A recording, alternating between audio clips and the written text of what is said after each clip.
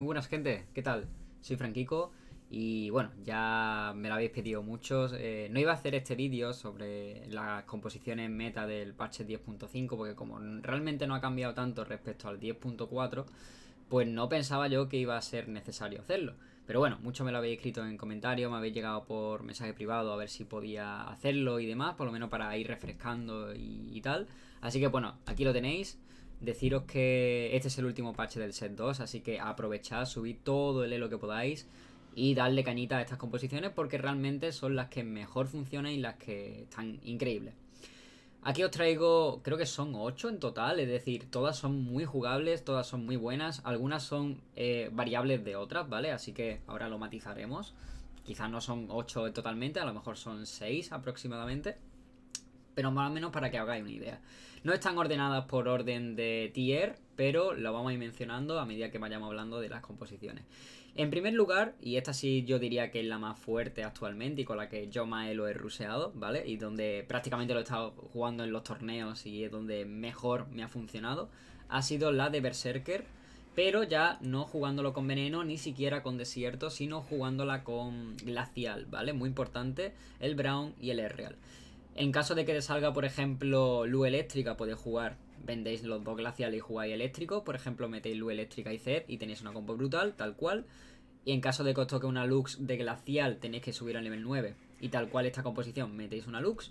Y va perfecto, ¿vale? Lo bueno que tiene que eh, Berserker es que una vez consigue los 6 Berserkers, eh, prácticamente subir al nivel 8 y nivel 9 es facilísimo. Así que esta es eh, lo más importante. No hace falta tanto priorizar Solaris, sino más bien los ítems de Olaf. Puede jugarse con Guardian Angel. Guardian Angel es obligatorio, es lo principal que tenéis que buscar. Luego hay gente que lo hace con RFC y Sanguinaria. Hay gente que lo hace con RFC y, por ejemplo, Infinity Age. Si le queréis ganar a Lights, tenéis que llevar Infinity Age. Si queréis ganarle a todas las composiciones restantes de una manera normal, pues puedes llevar el GA. Ahí el sanguinaria. Sanguinaria es como un man estándar, ¿no? Te funciona para todo menos para lights. Y si quieres ganarle a todos los demás y lights además, pues Infinity Age, ¿no? Aunque a veces te va a faltar un poco más de sustain, ¿no? Incluso puedes llevar eh, sanguinaria, Infinity Age y luego una sanguinaria. Aunque pierdes un poco el pegar tanto en área o activar el cono más grande, ¿no? Eso ya un poco a preferencia y que según esté el lobby. Luego, a mí me gusta con ítem que sobra, pues armar a R-Real o armar a Brown, ítem defensivo a Brown para que aguante un poco. Normalmente le suelo meter una redención o un Céfiro. Y luego, ítem de AP, maná, eh, velocidad, ataque extra, pues se lo armamos a R-Real. En caso de que nos salga, por ejemplo, una Lux eléctrica y juguemos eléctrico, pues Zed habría que meterle redención, Gea y ya el ítem que tú quieras. Puede ser una chispa iónica, puede ser una Warmore, puede ser daño, puede ser velocidad de ataque, puede ser lo que tú quieras.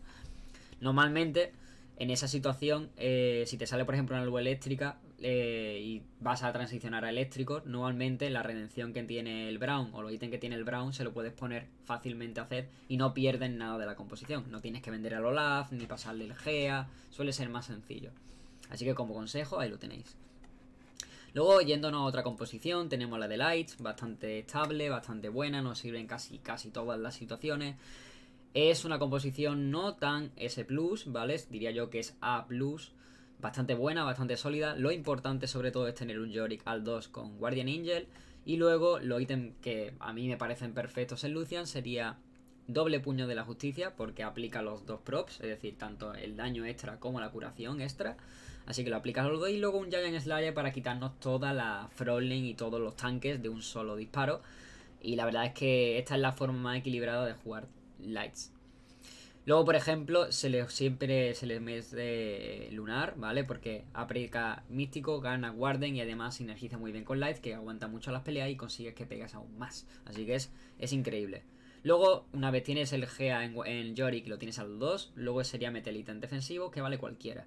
Una redención, un Céfiro, le puedes poner resistencia mágica, le puedes meter lo que quieras. Así que esta sería la composición de Light, muy fácil de jugar, es muy barata y se puede hacer realmente pronto. Incluso hay gente que le puede hacer un hiperroll, normalmente cuando se hace un hiperroll se hace un hiperroll de Bane, y si sacas Bane 3, pues sí, está bastante bien. Y le metes otro tipo de ítem, una Ginso, un Huracán, una Static, por ejemplo. Eso sería en el caso de que sacases Bane. En el caso de Lucian, pues mejor así. Hay gente en Hielo donde, bueno, yo mismo lo he sacado así, que para mm, jugar Lucian, como te sale en juego medio, casi en late, eh, estos ítems se lo puedes poner normalmente a Yasuo. Entonces a Yasuo le pones estos dos ítems, le pones el GA y cuando te sale Yorick y te sale Lucian, lo vendes y se los pasas y los tienes perfecto. Y encima tienes un Yasuo que mete un montón. Entonces no pierdes el early y transicionas muy bien hacia late. Esto normalmente se utiliza sobre todo en High Elo. El tema de usar a Yasuo para ese playholder. De ese doble playholder además. Pero bueno, eh, probadlo y si os sirve, genial. Luego tenemos una composición muy buena, muy estable y que le hace counter a bastantes composiciones, de hecho, sobre todo a Berserker y demás. Eh, es la de Inferno. Inferno 6 con eh, Shadow, siempre con Shadow y siempre con invocadores, ¿vale? Muy importante. Eh, hasta que te sale a Mumu, normalmente le mete intent defensivos a Sion o algún playholder que tienes por ahí, a la que te sale a Mumu, pues ya sí le puedes poner un Morelo, le puedes poner un Solari, le puedes meter un Gea, le puedes meter lo que quieras. Tu carry principal igualmente va a ser Kindred y defensivamente va a ser Sion, ¿vale? Así que tener a Sion y Kindred pronto significa que puedes ir a Inferno fácil. Es una composición a SS, SS, yo diría que es casi S+, porque se vea muy bien, contenía muy bien, eh, funciona increíblemente bien, tiene muchísimo daño. Y luego si puedes priorizar ítems defensivos, mejor, ¿vale? Si te sobran ítems defensivos, genial. No es algo que... Daño no le falta a la compo. A veces si acaso que le falta aguante, pero cuando ya aguanta y consigue meter el daño es una compo explosiva. Luego Kindred. Personalmente la build que más me gusta es eh, Serafín, eh, Spell Crítico e Infinity Age. Para que meta una habilidad brutales y reviente y haga one shot. Si con eh, Shadow 3 ya hace one con, con Shadow 6 hace doble de one. O sea, puede quitar 2000, 3000, es una locura, Kindred. Con tenerla al 2, ojito. Si ya consigue subirlo al 3, pues mejor. Luego tenemos otra variable que es, es casi eh, transición de inferno, ¿vale? Normalmente empiezas con inferno, siempre, con más o menos este Zar, siempre intentando, mejor cambias una ficha por otro, pero prácticamente intentas tirar por inferno. Y a la que te sale G, si tienes a lo mejor estos ítems, o tienes RFC, o tienes ítem para allí, o incluso te salen un G2 casi regalado en prácticamente late, es muy buena idea transicionar a, a Shadow, si bien en este parche están un poco nerfeados, ¿vale? Respecto al anterior. Antes, prácticamente en el 10.4, tú sacabas un G, aunque fuese nivel 1, te habías hecho un top 2 en toda la partida, seguro. Hagas lo que hagas, era imposible perder, ¿vale? Estaba demasiado roto. Lo nerfearon un poco, ahora ya no está tan fuerte, yo diría que sigue siendo una composición S, ¿vale? Pero ya no está tan fuerte como antes, ¿vale? Ahora ya necesitas el G al 2 o necesitas basarte un poco más en Kindred. Igualmente sigue siendo una composición muy estable. Lo principal de esta composición, si algo he aprendido, es que el primer eh, G nunca puede ser el primer target. Es decir, que nunca pueden empezar a pegarle a él primero, ¿vale? Porque si no tienes que armarle un Gea o tienes que armarlo Vale, a colocarlo de una manera donde no le puedan pegar de primera. Es decir, mejor que pegan a Malzahar, mejor que pegan a Sion o que pegan a Leona. Es decir, que focusen primero a uno de estos campeones y luego ya allí va a hacer destrozos. Es decir, luego allí ya pasa la escoba y se pone modo trituradora máxima y se carga a todo el equipo, ¿no? Entonces está increíble. Siempre se le mete una karma al lado para que le dé velocidad, ataque y escudo. Y normalmente se sinergiza con Leona porque Leona al final acaba siendo un buen tanque y, y Lunar no le viene mal. Leona igualmente es cambiable por lo que tú quieras, le pueden meter... Eh, hay gente que lo juega con Yasuo y Hana, ¿vale? Yasuo para conseguir espadachín y luego Hana con Yasuo para tener nube. Eh, sería otra variable, funciona igual de bien, funciona muy bien. Eso ya depende un poco del lobby. Si ves que necesitas más protección contra daño físico, te puedes poner Yasuo con Hana. Si ves que necesitas potenciar aún más el G, porque tu G es tu carry principal y quieres la velocidad de ataque en él, pues le puedes meter lunar, le puedes meter la karma. Así que eso ya va un poco a gusto, sí, un poco según el lobby. Muy muy buena composición, yo la estuve spameando muchísimo y la verdad es que me ha encantado. Tercera composición, a pesar de los nerfeos, eh, sigue estando rotísima la composición de Rangers. Ahora luego después de esta vaya a ver otra composición de Rangers, pero con un, un ligero cambio. Esta sería la composición ideal, ¿vale? Ideal es muy difícil de sacar, ¿vale?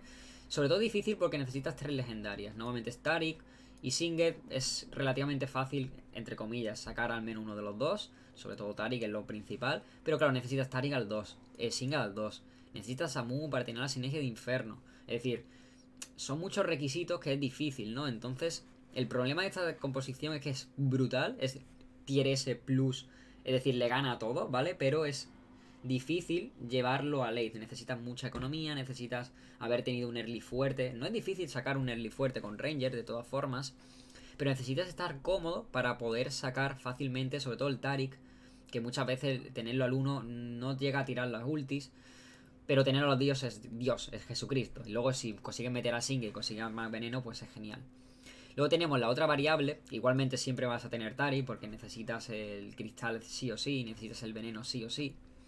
Es con, en vez de con 4 ranges, es con 2. Siempre Karma bufando a, Twitch, entonces Karma con la velocidad que le da supla la velocidad que te da los 4 rangers. Entonces al final acaba siendo lo mismo. Si tu carry va a ser King, eh, Twitch o si tu carry va a ser Ashe, ponle una Karma al lado que te va a hacer el mismo trabajo que los 4 rangers. Luego además añadimos Soraka, esto es una versión un poco más defensiva, ¿no? Es decir, consiguen místico, consiguen luego el veneno que inutilizan los magos, inutiliza muchas composiciones de, basadas en sus habilidades. Luego tienes además el Tari que es bastante fuerte porque tiene el de este de Warden y tiene algo de resistencia. Es decir, es una composición, una versión un poco más eh, fácil de sacar porque no tiene tantas legendarias, ¿vale? Es un poco más early, Soraka luego en ley lo puedes cambiar por una Nami o lo que tú quieras. Y al final es como una versión low cost de esta y un poco más defensiva, ¿no? Igualmente esta sería como la óptima y esta sería como la versión más realista, ¿no? De, de la propia composición, ¿no? Bastante buena, bastante, bastante buena. Eh, en, penúltimo lugar tenemos la composición del Yasuo. Yasuo, si bien lo han nerfeado aumentando el coste de mana, eh, sigue estando muy, muy, muy tocho. La composición sigue siendo básicamente la misma. Eh, se puede jugar de tres maneras. Eh, una es con cuatro desiertos, otra es con invocadores y otra es con místicos. O espadachines 4 y demás. Normalmente cuando te sale ya el G, etc. La composición base sería Sivir, Azir, Karma, Yasuo y Hana, ¿vale? Esto, esto sería lo principal, ¿vale? Luego esto, el Renekton y el Kazi lo puedes cambiar perfectamente por, yo que sé, eh, ¿qué te digo yo? un Jazz, un G y un Atros para tener Master o un G y otro y una Nami para tener cuatro místicos, o puedes subir al de Nebel, o puedes meter una Lux de nube, o puedes meter una Lux de lo que quieras, ¿sabes? Es decir, yo recomiendo que el early y el midgame siempre tengáis desierto y luego ya transicionéis a según lo que os salga. ¿Que me sale G? Me puedo plantear místico. O me puedo plantear eh, Master. ¿Que me sale a lo mejor una Lux de nube? Pues oye, pues a lo mejor le meto una Quillana. O a lo mejor. Bueno, una Quillana no haría falta porque ya tendría nube 4, ¿no? Pero. Sabéis, es seguro un poco la situación de la partida, ¿no? Pero la base sería básicamente así y funciona muy bien. Siempre intentad priorizar el desierto porque el desierto en early eh, funciona increíble. Y luego ya también sigue funcionando, pero eso ya depende un poco de cómo tú te veas y cómo veas el lobby, ¿vale? O sea que lo dejo un poco a vuestro criterio. Lo importante y más importante en esta composición es Yasuo con el Gea. Lo ideal es ponerle doble puño de la justicia, que no podéis. Le podéis poner una sanguinaria. Tampoco hay mucho más. Ítem de AP y velocidad de ataque, todo Azir. ¿Que podéis hacerlo Blade Master? Genial. Porque si luego hacéis Blade Master, quitáis este y añadís un G, por ejemplo, vamos a hacer... Es que, mira, vamos a hacerlo en un segundo, ¿vale? ¿Dónde está el de esto de Blade Master? Lo hacemos Blade Master. Imagina que tiene ítems, ¿vale? Le metemos un G y le metemos una Nami, por ejemplo. Tenemos una compro brutal. Y el casi lo podríamos quitar. 1, 2, 3, 4, 5, 6, 7. Y este le podríamos cambiar por lo que sea. Incluso podéis meter un lunar, en fin. Podéis hacer todas las piriguerías que queráis. Y está brutal, ¿vale? O sea, conseguiréis Blade Master, Místico y luego, en fin, tenéis todo lo demás. Le podéis meter, bueno, un montón de cosas. Incluso esto cambiarlo por una, por una Lux. En fin, es bastante versátil en cuanto que se puede adoptar a muchas composiciones. Lo bueno de esta composición que cuando ya tienes la base, que hay daño físico, le meto más nube. Que hay daño mágico, le meto místico. Que veo que hay 50-50, pues bueno, a lo mejor me renta más meterle desierto. Que hay mucha, hay por ejemplo muchos centinelas, desierto. Que hay, por ejemplo, daño híbrido en casi todo el lobby, está bastante ajustado. Pues a lo mejor te interesa más jugarle a Blade Master. ¿Entendéis? Entonces es bastante versátil. Y ya por último, la última composición, una de hiperroll, bastante, bastante buena, es... Si consigues eh, Luden y Cosmo Early, eh, básicamente del top 2 no hay quien te saque, es bastante fácil. Y bueno, tiene dos variables. Eh, bueno, esta es la clásica, la que se juega con con steel y demás, veneno y todo el rollo. Y luego hay otra que es jugándolo, no es tanto al hiperroll, sino más bien al soft roll, y es jugarlo con, con Brown, jugarlo con Bolly, jugarlo con Olaf, jugarlo con R, es decir, meterle al final glaciales, ¿no? Pero bueno, la estándar y la que mejor funciona, la otra no la meto porque no es tan buena. Y esta sigue funcionando increíblemente bien. Que es básicamente, pues eso. Eh, básicamente Ashe, meter cristal, meter los Predators, meter veneno. Y nuestro escáner con ítems mamadísimos. Los ítems perfectos de escáner serían estos. Los ítems perfectos de Cosmo serían triple Luden. Ojo, eso es algo que rara vez va a pasar, ¿vale? Y si no tenéis Luden, podéis meterle Static, que funciona también bien. En primer lugar sería Luden, en segundo lugar Statics, y luego en tercer lugar ya todo lo que veáis. Una cosa que yo he visto que funciona muy bien, ¿vale? Eh, sería la meter en la Ground Blade. Es decir, con esto doble Luden, o incluso si lo tenéis con, este, con Static, no importa. Eh, tiene una, una ulti y se carga como a 3. Entonces carga el Dead Blade rapidísimo. Y luego al final, los momentos en los que no está tirando habilidades, que son cuando está débil Cosmo, pegas unos one shots con el Dead Blade, pegas unos basicazos que, revientas. Entonces, está muy muy bien. Si veis que es susceptible a Zephyros, ¿vale? Entonces, tener cuidado. Si veis que hay muchos Zephyros, le podéis poner, eh, por ejemplo, un Quicksilver y ya no te lo levantan y sigue soteando y es una bestia. Así que pues nada, estas serían todas las composiciones. Este sería... Bueno, ya no iba a haber más meta en el, en el set 2, así que aprovechadlo sería estas todas las composiciones que funcionan, que se utilizan en High Elo y bueno, en el resto de Elo sigue funcionando igual. Y poco más que deciros, así que eh, subir todo lo que podáis, tenéis que ser, para que acceda a la recompensa mínimo de oro, y la verdad que se puede subir a oro fácil, fácilmente, yendo tranquilo en una semana. Entonces, incluso puedes acelerar mucho más. No hace falta que tengáis mi nivel, es decir, con tener un nivel decente o simplemente jugar una composición que sea meta, podéis subir sin problemas en el tiempo que os queda. Pero vaya, sin problemas, sin ningún tipo de dificultad, ¿vale? Así que mucha suerte en vuestra ranked. Eh, comentadme un poco en qué lo estáis y a ver si os da tiempo a subir. Qué composiciones habéis estado jugando, si os gusta, si no os gusta vuestros resultados además y lo vamos compartiendo un poco con la comunidad. Así que pues nada, nada más que deciros. Bueno, sí, comentaros, bueno, lo que siempre os comento al final de los vídeos, ¿no? Que tengo un canal de Twitch, ahí estamos haciendo stream normalmente desde las 11 de la noche hasta prácticamente las 2, las 3 de las 4 de la mañana. Esos son unas 4 o 5 horas menos en Latinoamérica, así que pues ahí hacéis los cálculos. y nada, pues en stream pues solemos jugar al TFT. Bueno, siempre jugamos al TFT, pero me refiero, jugamos Ranked, eh, estamos probando cosas en el PB, últimamente estamos mucho con el set 3. Eh, hago torneos, eh, juego con suscriptores, respondo preguntas, hablamos del meta, analizamos cosas. Es decir, siempre es súper didáctico todo, pero bueno, si os gusta este canal, pues probablemente os guste también el, el canal de Twitch. Así que si os interesa, pasadle, echarle un ojillo y si os gusta, pues genial. Así que pues nada, nada más que deciros. Este es probablemente el último vídeo del set 2. Así que nada más que decir. Aprovechad, subirelo y mucha suerte a todos vosotros. Así que adiós.